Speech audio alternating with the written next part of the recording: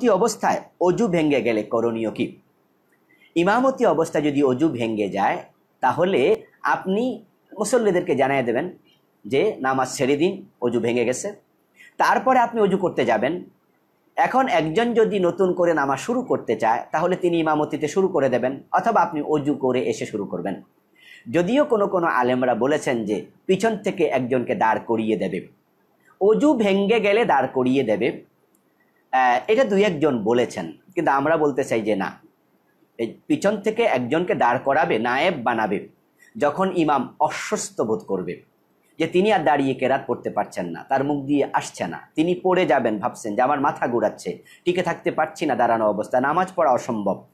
অজু কিন্তু ভাঙে নাই অসুস্থ বোধ করছেন। এ অবস্থায় তিনি তার নায়েব বানাবেন। অসুবিধা নেই।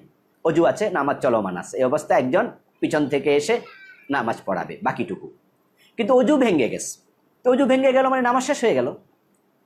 এই জন্য আমরা বলব, যদি অজু ভেঙে যায়, নায়েব করবে না। বরং একজন, তিনি অজু করে নতুন করে পড়াবেন, অথবা অন্য কেউ নতুন করে নামাজ শুরু করবেন।